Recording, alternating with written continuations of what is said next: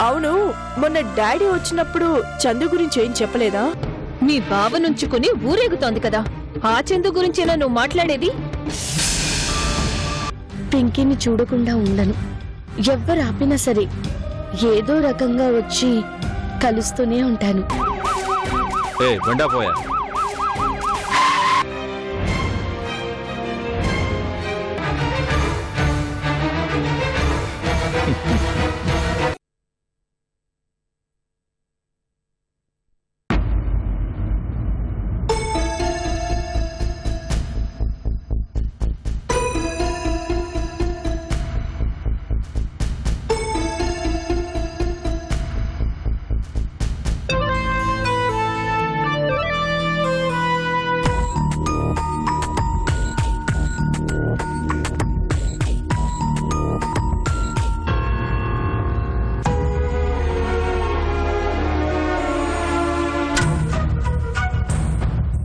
ఏంటి డాడీ? మీరింకా పడుకోలేదా? మనకి ఓ శుభవార్త రావాలమ్మా.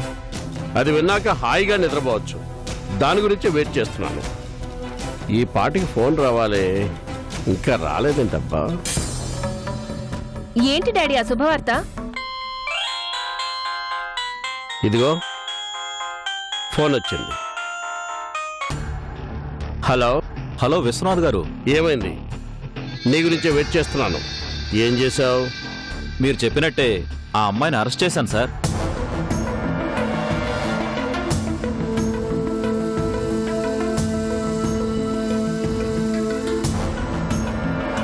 శబాష్ అంతవరకు ఓకే.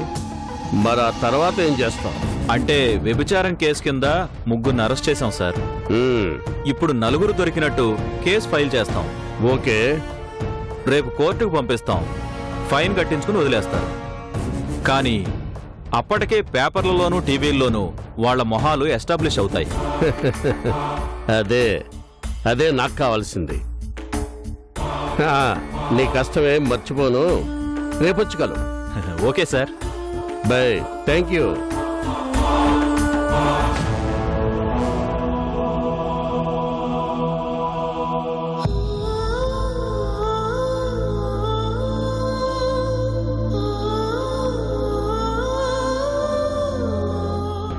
daddy arrest చేసింది. ఇంకెవరినమ్మా? ఆ చందుని నిజమా? మరి? మీ డాడీ తలుచుకుంటే ఎలా ఉంటుంది? పనిష్మెంట్ ఎంత సివియర్గా ఉంటుంది? అసలు దాన్నెలా అరెస్ట్ చేయించారు? రాత్రి అదే నీ కూతుర్ని కలిసి హాస్పిటల్ నుంచి వెళ్తుందని మన స్టాఫ్ ఫోన్ చేసి చెప్పారు. అప్పుడే అంతా ప్లాన్ చేశాను మనకు తెలిసిన మనుషులు డిపార్ట్మెంట్లో చాలా మంది ఉన్నారు. అర్ధరాత్రి ఆడపిల్ల రోడ్డు మీద కనబడితే ఊరుకుంటారా? అరెస్ట్ చేశారు. బ్రోతల్స్తో కలిపి దాన్ని ఒక బ్రోతల్ లాగే దాన్ని రేపు కోర్టులో ప్రొడ్యూస్ చేస్తారు. అక్కడ దాన్ని కూడా బ్రోతల్ లాగే ట్రీట్ చేస్తారు. అందరితో పాటు దాన్ని కూడా బ్రోతల్గా అందరికీ తెలిసిపోయేలా చేస్తారు. దాని గురించి టీవీల్లోనూ పేపర్లోనూ వస్తుంది. అది చూసి దాని గుండె పగిలిపోతుంది. అంతే కదా? శబాష్ బేబీ నా ప్లాన్ అంతా నీకు ఇట్టే తెలిసిపోయింది. ఆ నీది నా బుర్రే కదా. నాకు నిజంగా చాలా హ్యాపీగా ఉంది daddy. Thank you daddy. Thank you so much. Okay good night.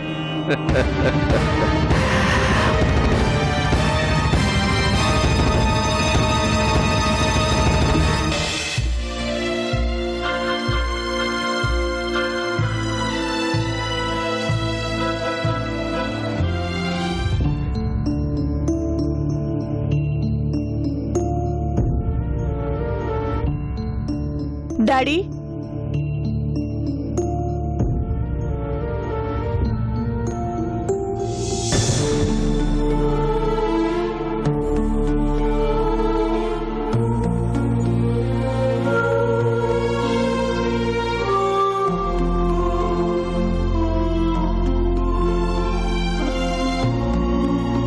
good morning daddy good morning అమ్మా. ఏంటమ్మా కాఫీ నువ్వు తీసుకొచ్చావు? రామయ్య లేడా? రామయ్య ఏదో పనిలో ఉన్నాడు డాడీ మీకు కాఫీ ఇచ్చి ఓ ఇంపార్టెంట్ విషయం మాట్లాడాలని వచ్చాను. అంత ఇంపార్టెంట్ విషయం ఏంటమ్మా? ఏదైనా బిజినెస్కు సంబంధించిందా? ఆ విషయం అయితే నన్ను అడగడానికి ఏముంది? నేను ఎప్పుడో బిజినెస్ నీ చేతిలో పెట్టేశాను. కాబట్టి నీకంటే నేను మంచి నిర్ణయాలు తీసుకోలేను. నీకు సలహాలు ఇవ్వలేను. ఇంకా ఇంపార్టెంట్ విషయాలు ఏముంటాయి? బిజినెస్ గురించి కాదు డాడీ. అంతకంటే విలువైన ఓ వ్యక్తి గురించి. ఎవరి గురించమ్మా? చందు గురించి డాడీ?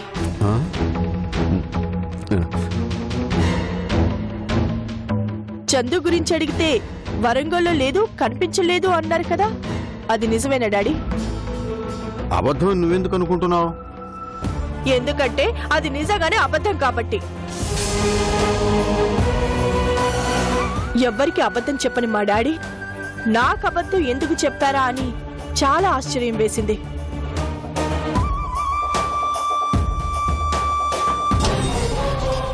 అబద్ధం అని నువ్వెలా చెప్తావమ్మా? ఎందుకంటే నేను ప్రియకి ఫోన్ చేశాను డాడీ.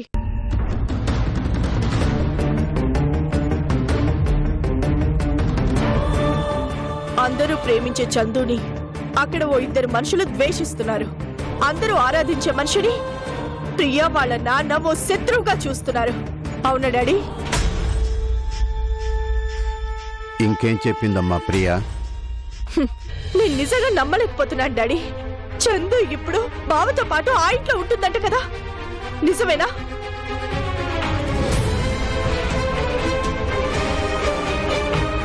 చెప్పండి డాడీ. నిజమేనా?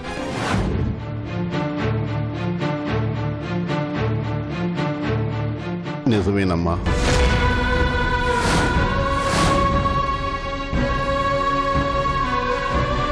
మరెందుకు డాడీ? ఏం తెలీదు అని చెప్పారు. చందు అసలు కనిపించలేదు. తను ఎక్కడుందో తెలీదు అని ఎందుకు అబద్ధం చెప్పారు?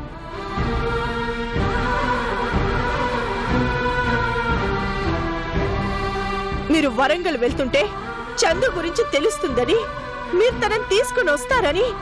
అటు కృష్ణకి అర్చనక్కకి అందరికి ఎంతో ఆశ పెట్టండి డాడీ. కానీ చందు దొరకలేదని అబద్ధం చెప్పారు. ప్రియాంకకు ఫోన్ చేస్తే చాలా అసహ్యంగా మాట్లాడుతోంది. అసలేంటిదంతా? ఏం జరిగింది డాడీ? నువ్వు విన్నదే అక్కడ జరుగుతోందమ్మా. మీ ప్రియక్క మీ బాబాయ్ నిజంగా మన చందుని అపార్థం చేసుకుంటున్నారు. వాళ్ళ మాటలు వింటుంటే ఇద్దరిని అక్కడికక్కడే చంపేయాలన్నంత కోపం వచ్చింది. మరి అలాంటి సిచ్యువేషన్లో చందుని అక్కడెందుకు వదిలొచ్చేశారు డాడీ? మీతో పాటు తీసుకురావాల్సింది కదా? తను రానందమ్మా. నేను ఇక్కడున్న విషయం ఎవరికీ చెప్పొద్దని నా దగ్గర మాట తీసుకుంది. ఏం చెయ్యను? అలా ఎందుకు డాడీ? ఎందుకు అక్కడే ఉండి అన్ని మాటలు పడాలి? ఇక్కడ తన కోసం అందరూ ఎదురు చూస్తుంటే అక్కడ మాటలు పడుతూ ఎందుకు ఉండాలి?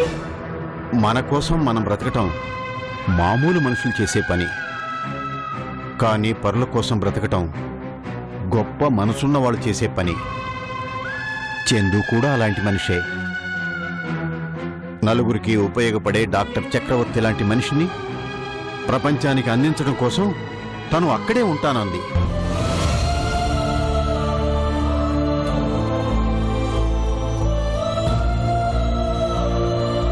సమస్యలతో సతమతమవుతున్న చక్రవర్తిని మామూలు మనిషిని చేసే వరకు తను ఎన్ని కష్టాలైనా పడతానంది. కానీ తన గురించి ఎదురు చూసే వాళ్ళ గురించి ఆలోచించలేదా డాడీ? ఆలోచించిందమ్మా. కానీ తను వచ్చినా చనిపోవటం తప్ప మరో అవకాశం లేదు.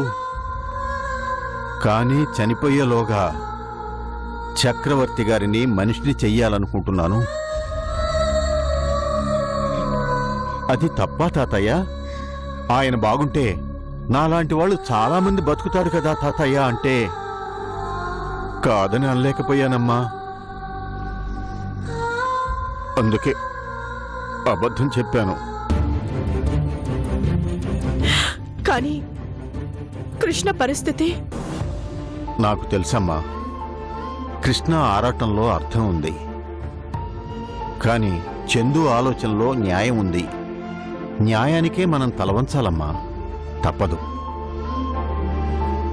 ఈ విషయం నువ్వు ఎవరికి చెప్పొద్దు.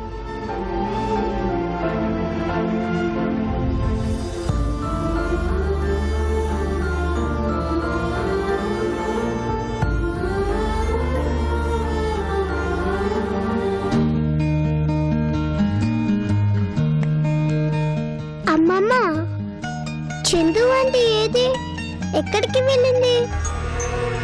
నువ్వు బ్రెడ్ తిన్నాక ఫోన్ చేస్తాను. మళ్ళీ వస్తుంది. నాకు చెప్పకుండా ఎందుకు వెళ్ళింది? నాకు చెప్పాలి కదమ్మమ్మ రాత్రి నాతో మాట్లాడుతూ ఉండి నిద్ర లేచేసరికి లేదు. నాకు ఆంటీ మీద కోపం వచ్చింది. అలా కోపడితే ఎలా తల్లి? నువ్వు మా బంగారు తల్లివి కదా? ఆంటీ ఇంటికి వెళ్ళి ఫ్రెష్ అప్ అయి మళ్ళీ వస్తుంది. నిజంగా వస్తుందా? ఎందుకు రాదు? తప్పకుండా వస్తుందమ్మా. ఎవరి గురించి మళ్ళీ వస్తుంది అని చెప్తున్నావు? ఆ చందు గురించేనా? రాత్రిది వచ్చిపోయిందట కదా? అంటే నాకు తెలియకుండా ఇక్కడికి రావడం నా కూతురుతో మాట్లాడడం ఎవరినైతే దూరంగా ఉంచాలనుకున్నానో వాళ్ళతో ఫోన్లో మాట్లాడడం దానికి నువ్వు సపోర్ట్ చేయడం. బాగుంది. చాలా బాగుంది మమ్మీ. కానీ నీకొక విషయం తెలియడం లేదు. అదేంటంటే మీరు ఎదురు చూస్తున్న చందు అనే రాక్షసి మళ్ళీ ఈ హాస్పిటల్కి రాదు. ఎందుకు రాదు మమ్మీ? ఎందుకంటే రాత్రి చందుని పోలీసులు అరెస్ట్ చేశారు. అరెస్టా? ఎందుకు అరెస్ట్ చేశారు? అబ్బా ఎంత టెన్షన్గా అడుగుతున్నావు మమ్మీ. బహుశా నేను అరెస్ట్ అయినా ఇంత టెన్షన్ పడవేమో. నాకు తెలియకుండా వచ్చి నా కూతురుతో మాట్లాడిపోయింది కదా అందుకే అరెస్ట్ చేశారు పోలీసులు. నిజం చెప్పు. చందును నువ్వు మీ నాన్న ఇద్దరు కలిసి అరెస్ట్ చేయించారు కదూ? కరెక్ట్గా అర్థం చేసుకున్నావు మమ్మీ. అవును చందుని అరెస్ట్ చేయించింది మేమే. ఎలాగో తెలుసా? రోతల్ యాక్ట్ కింద అరెస్ట్ చేయించాం. రాత్రి అరెస్ట్ చేశారు. ఈ రోజు కేసు రాస్తారు. రేపో ఎల్లుండో కోర్టుకు తీసుకువెళ్తారు. ఆ తర్వాత దాని గురించి పేపర్లలోనూ టీవీల్లోనూ వస్తుంది. ఆ తర్వాత రోడ్డు మీద వెళ్తుంటే అందరూ కామెంట్ చేసి మరీ వెంటపడతారు. అసలు వాడదానివేనా? ఆడపిల్లవై ఉండి మరో ఆడపిల్లకి ఎలా చేయడం ఏమైనా న్యాయంగా ఉందా? న్యాయమా? న్యాయం గురించి నువ్వు మాట్లాడుతున్నావా మమ్మీ? అది నా కూతుర్ని నాకు కాకుండా చేస్తోంది. నా మొగుడుతో కలిసి ఆ ఇంట్లో కులుకుతోంది మరి నాకెలా ఉండాలి? అది న్యాయమా?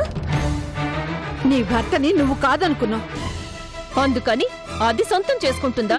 మమ్మీ చందు అంటే రాదా? రాదు. రానివ్వను. దాని జీవితం ఆ జైల్లోనే తెల్లారిపోతుంది. నువ్వేం చేసినా పైన భగవంతుడున్నాడు ఆయన అన్ని చూస్తుంటాడు. ఆయనే ఆ చందుని కాపాడతాడు.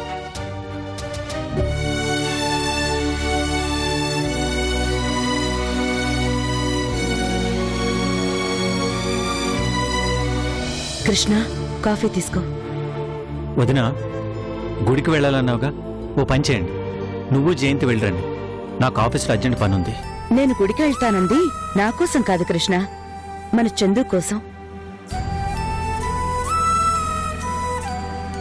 మనిషి మానవ ప్రయత్నం చేశాక కోరుకునేది ఆ భగవంతుణ్ణే. చందు కోసం మనం చెయ్యాల్సిన అన్ని ప్రయత్నాలు చేశాం. ఇక మిగిలింది ఆ దేవుడి దయే. నువ్వు రాకుండా మమ్మల్ని వెళ్ళమంటే ఎలా? చందు గురించి ఆ దేవుణ్ణి ఏమీ అడగవా? అడగను వదిన ఏమీ అడగను. ఎందుకంటే నేను అడిగిన ప్రతిసారి నాకు అన్యాయం చేస్తూనే ఉన్నాడు. కన్న కూతురు బాగుండాలని ఏ తండ్రైనా కోరుకుంటాడు. అలాగే కోరుకున్నాను. అది తీర్చలేదు. కనీసం ఉన్నంత కాలమైనా తను ఆనందంగా ఉండే అవకాశం ఇవ్వమన్నాను. చివరికి అది ఇవ్వలేదు?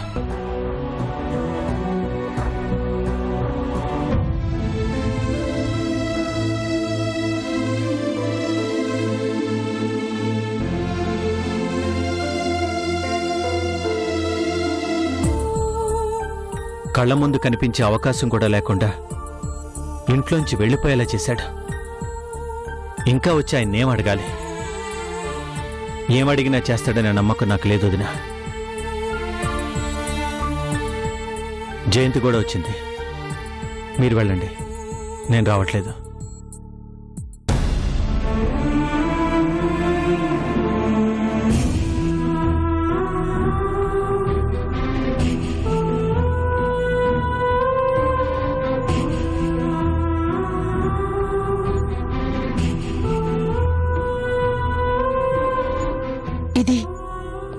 ఇది చందు పనే కదూ?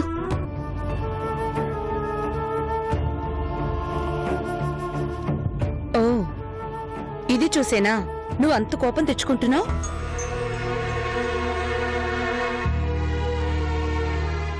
ఏంటక్క ఇది?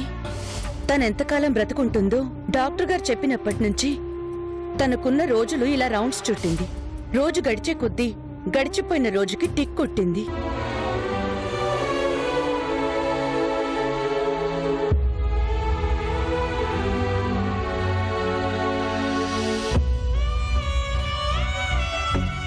తన ఇంటి నుంచి వెళ్ళిపోయాక ఇదిగో ఈ రోజులన్నీ గడిచిపోయాయి. కానీ ఇంతవరకు తను ఎక్కడుందో ఏం చేస్తుందో తెలియదు తన గడువు కూడా అయిపోయింది. అంటే ఏంటి? ఇవి అయిపోతే తను లేనట్లేనా? ఎందుకు అలా ఆలోచిస్తారు? చందుకేం కాలేదు. తను బాగానే ఉంది. నిజమా? నిజంగానే బావుందా ఎక్కడుంది? వరంగల్లో లేదని మీ డాడీ చెప్పారన్నావుగా? మరి ఎక్కడుంది తెలీదక్కా. కానీ నా మనసుకి మాత్రం తను బాగుంది మళ్ళీ మనల్ని చూడ్డానికి వస్తుంది అనిపిస్తుంది. ఇంకెప్పుడు వస్తుందో ఏంటో. ఆరోగ్యంగా ఉన్న మనిషి అయితే ఓ నెల రోజులు లేట్ అయినా తిరిగి వస్తుందని అనుకోవచ్చు. కానీ ఇదిగో తన డాక్టర్ చెప్పిన రోజులన్నీ అయిపోయాయి. డాక్టర్లు ఏమైనా దేవుళ్ళ అక్క మనిషి జీవితం ఎక్కడ ఆగిపోవాలో ఎగ్జాక్ట్గా చెప్పడానికి అసలు మన నెగిటివ్ యాటిట్యూడ్ మానేసి మామూలుగా ఉండే ప్రయత్నం చేద్దాం. మనకి చందు ఇంటికి తిరిగి రావాలి. అంతే కదా? అందుకే మనం అనుకున్నట్లు వరంగల్ లోకల్ ఎడిషన్లో ఆ వార్త రావడానికి ఏర్పాట్లు చేయించాను. అది ఒక్క రోజు కాదు దాదాపు రోజు వస్తుంది. ఏదో ఒక రోజు చందు చూస్తుంది మన దగ్గరికి తప్పకుండా వస్తుంది. నిజంగా అలా చందు వస్తే చాలమ్మా. నీ మాటలు వింటుంటే నాకు నమ్మకం కలుగుతుంది. ఉండు కాఫీ తెస్తాను.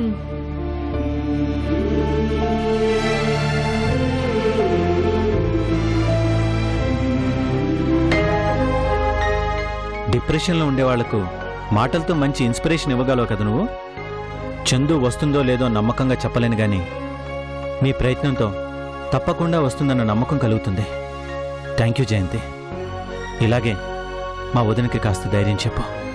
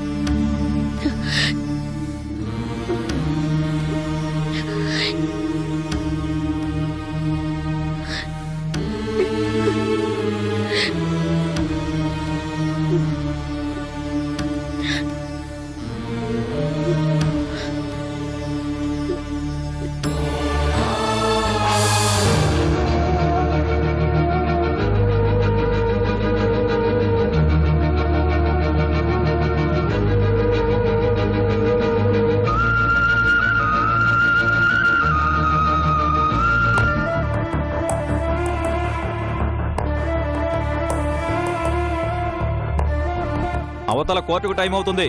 వాళ్ళని తొందరగా రమ్మని చెప్పండి. ఎస్ సార్ రండి.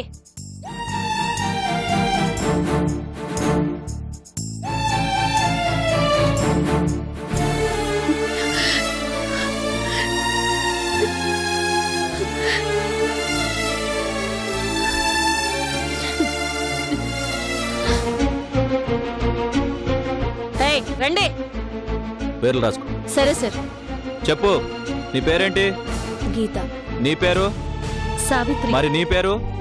సుమతి. అబ్బా అందరూ పతివ్రతలే. నీ పేరేంటి?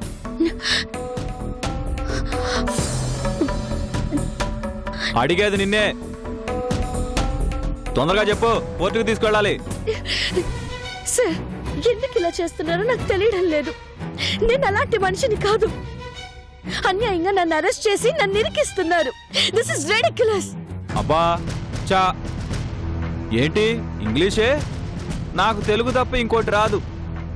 మర్యాదగా నీ పేరు చెప్పి ఇందులో సంతకం పెట్టు. లేదంటే నా ఇష్టం వచ్చిన పేరు రాస్తా. ఇష్టం వచ్చిన కేసు పెడతా. దేనికైనా మనం రెడీ. ఏంటి? సంతకం పెడతావా? లేక పెట్టనని మొండికేస్తావా?